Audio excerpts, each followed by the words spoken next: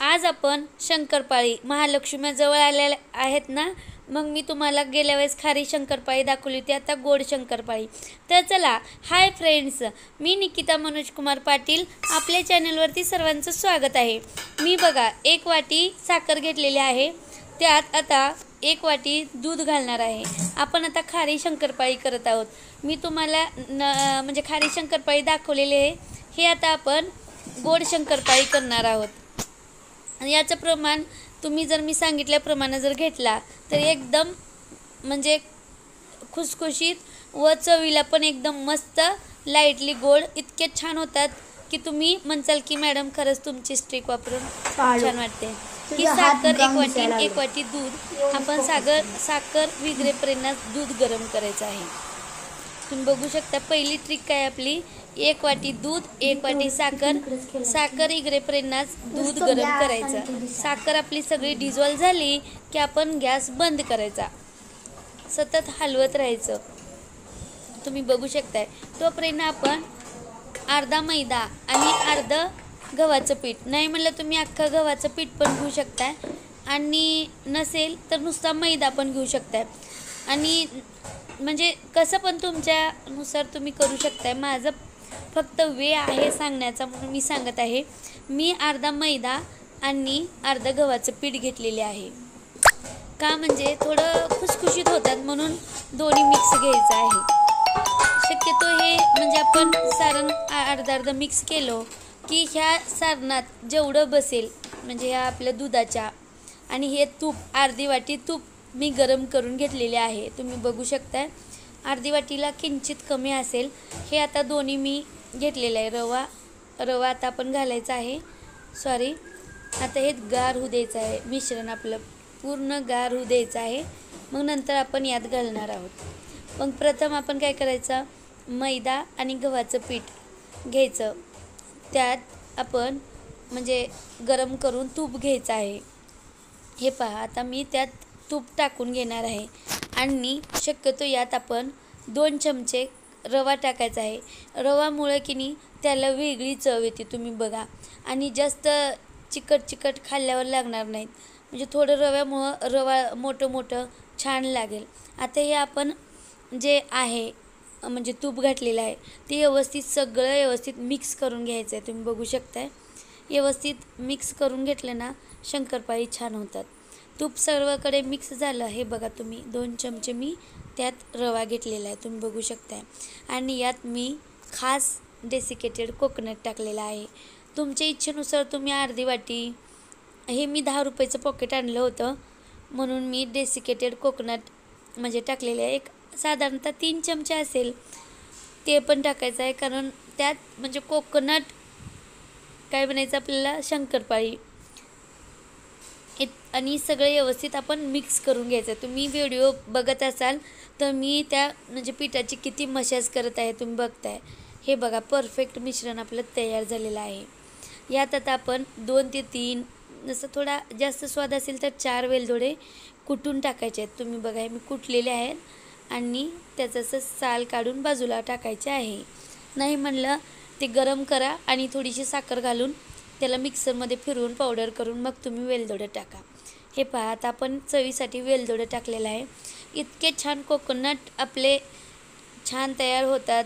शंकरपाळी अप्रतिम लागतात. तुम्ही नक्की ट्राय करा मैत्रिणींनो.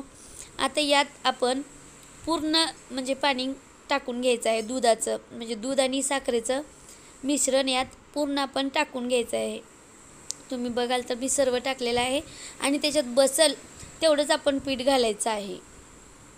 तुम्ही बघू शकताय व्हिडिओमध्ये. आता मी हे सर्व य एकजीव करून घेते. तुम्ही आणि जर माझ्या चॅनलवर कोण नवीन असेल तर प्लीज सबस्क्राईब करायला विसरू नका. अशा गौरी गणपती म्हणा किंवा दिवाळीला अशा छान छान रेसिपीसाठी माझ्या चॅनलवर येत राहा. एकदम परफेक्ट क्वांटिटी तुम्हाला मी सांगणार आहे. आणि अजिबात चुकणार नाही आहे आणि शंकरपाळ्या अजिबात कडक होणार नाहीत किंवा असं रटपट लागणार नाहीत. एकदम मस्त खुसखुशीत बिस्किटासारखे लागणार. तुम्ही हे म्हणजे तळू पण शकता किंवा मायक्रोवनमध्ये पण करू शकताय. आता हे बघा त्याच्यात एक वाटी साखर एक वाटी दूध आणि अर्ध्या वाटीला थोडीसं कमी. आपण काय घेतलेलं आहे? तूप घेतलेलं आहे. त्याच्यात बसेल तेवढंच आपण. म्हणजे दोन काय दोन दोन वाटी म्हणा किंवा एक एक वाटी गव्हाचं आणि मैदा आणि थोडंसं रवा दोन चमचे आणि एक तीन चार चमचे डेसिकेटेड कोकोनट टाकायचं आहे. तुम्ही बघू शकताय.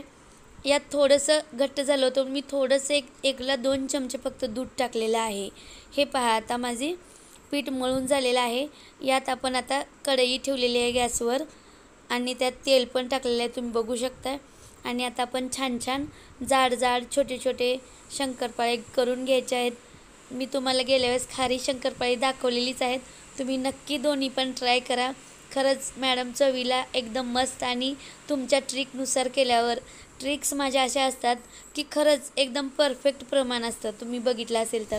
म्हणजे आता एक किलोला किती घ्यायचं असं न घेता तुम्ही जर दोन वाट्या म्हणजे आपण दोन वाट्या साखर दोन वाटी दूध आणि त्याला एक वाटीभर म्हणजे वाटीला थोडंसं कमी तूप घेतलं की त्याच्यात बसेल तेवढा मैदा किंवा आपला गव्हाचं पीठ घालून केलात की चवीला अप्रतिम तेवढे गोड पण नाही होणार तेवढे सपक पण नाही होणार आणि आपण काय म्हणतो आणि खुसखुशीत एकदम चवीला एक नंबर होणार.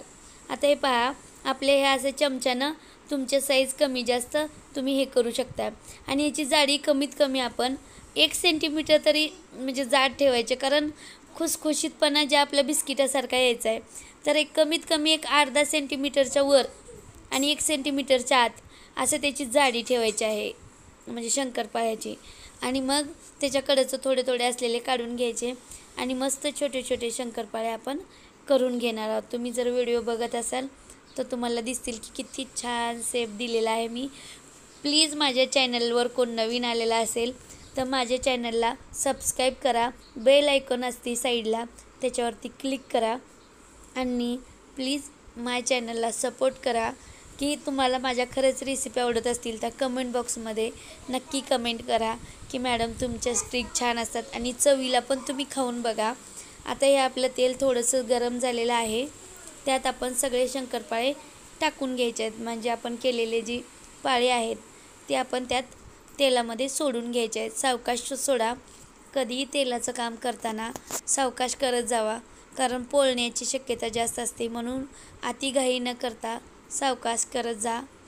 हे पहा आता आपण हे म्हणजे शंकरपाळी थोडीशी झाले. म्हणजे टाकल्या टाकल्या कधी हलवायचे नाहीत कारण ते तुटू शकतात.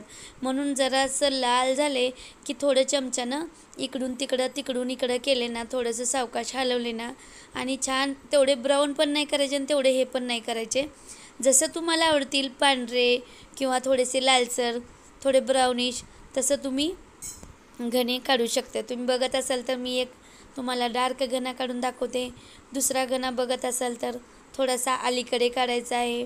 म्हणजे थोडंसं डार्क काढलं तरीही काही एवढं म्हणजे फरक पडत नाही. पण असं छान लागेल असं तुम्ही म्हणजे तळून घ्या व्यवस्थित. त्याच्या जाडीनुसार त्याचं म्हणजे तळण व्यवस्थित तळले पाहिजे. त्याचे म्हणजे आपण जशी शंकरपाळीची जाडी घेतो त्या जाडीनुसार त्याला किती वेळ तळलं पाहिजे काय तळलं पाहिजे ते व्यवस्थित तळलं गेले का? हे सुद्धा बघणं फार महत्त्वाचं आहे. आता मी तुम्हाला एक घना लालसर दाखवला. हा घना मग मंद आचेवर थोडासा अलीकडे म्हणजे थोडासा कमी लालसर म्हणजे अर्थात त्याला काय म्हणायचं व्हाईट थोडासा काढला. पण ह्याला गॅस कसा मंद करायचा? जास्त फुल नाही करायचा. आणि आपण अगोदर जे केलेलं आहे ते हे पहा तुम्ही. मी एक गणा तुम्हाला थोडासा अलीकडे काढलेला आहे आणि एक गणा पलीकडे काढून दाखवलेला आहे. तर अशा छान छान रेसिपीसाठी माझ्या चॅनलवर येत राहा. थँक्यू फॉर वॉचिंग मस्त राहा स्वस्त खा अशा छान छान रेसिपी पाहत राहा.